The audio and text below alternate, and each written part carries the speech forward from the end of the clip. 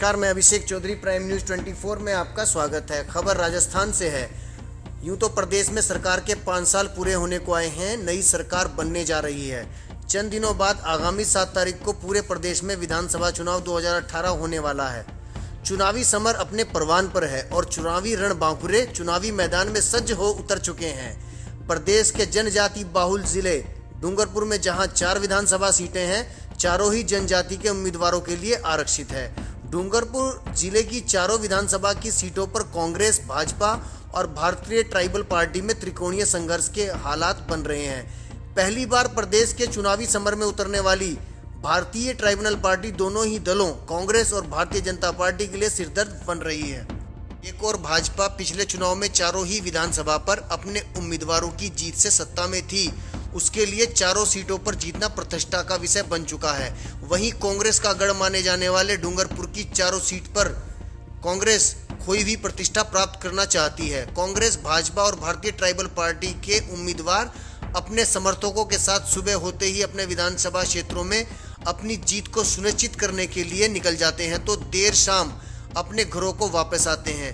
चुनाव में अपने उम्मीदवारों को जीत दिलाने के लिए राजनीतिक दल वो हर संभव प्रयास कर रहे हैं जिससे उम्मीदवार की जीत सुनिश्चित हो सके।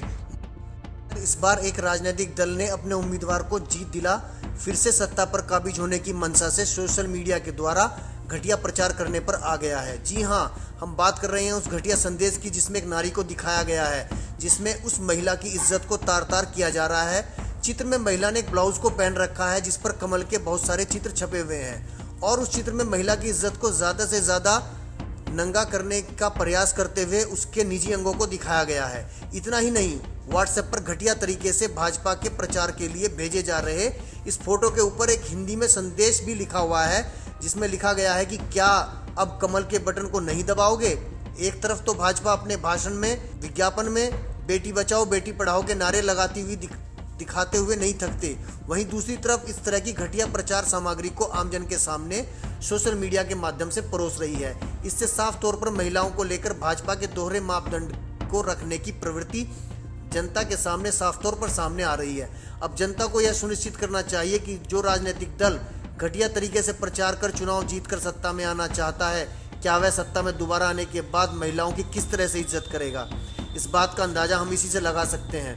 इस चुनाव में भाजपा के उम्मीदवार को जिताकर क्या सत्ता में दोबारा इनको लाना है, या उन महिलाओं को सोचना चाहिए जो अपने मंत्र का प्रयोग करेंगी? प्राइम न्यूज़ 24 के लिए राजस्थान से विपिन जोशी की खास रिपोर्ट। अगर आपको यह वीडियो पसंद आई है तो हमारे चैनल को सब्सक्राइब ज़रूर करें, लाइक करें और शेयर करें। सब्सक्राइब के बगल में बेल आइकन को दबाकर हमारी ताज़ा तरीन खबरों से अपडेट रहें।